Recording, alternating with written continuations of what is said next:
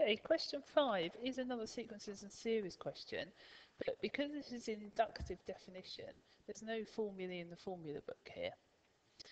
So let's have a look at what we're doing. So we've got a sequence, they've given us this formula, this is inductive definition, and they've given us some information. So they've told us the second term is 160, the third term is 132, and the limit of the sequence as n tends to infinity, so it gets very large, is 20.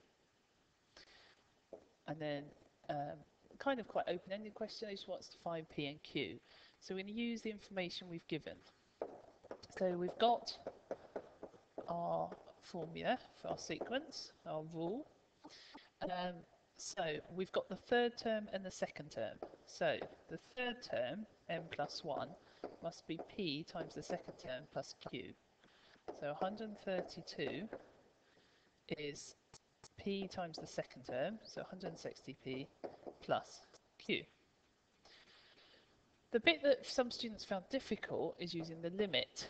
Now the limit of a sequence is when the next term is equal to the previous term. So the limit is when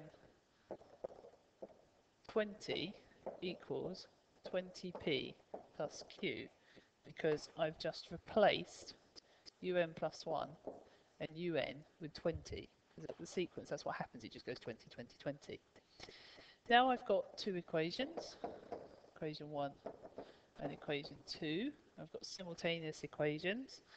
So if I do equation 1 and I subtract equation 2, I'm going to get 112 equals 140p and the q's are going to cancel out.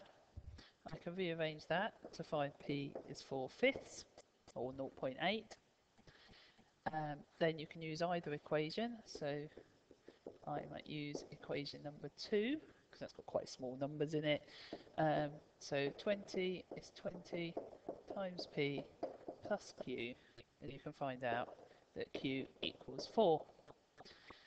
So now I've found my values for P and Q, we can have a look at the next bit. So the next bit is hence I'm going to find the first term. Well, what do I know? Um, in order to get the second term, you would use the first term. So our formula says the next term is P times the current term plus Q. So if I put n equals 1 into there, I get u2 is 4 fifths times u1 plus 4.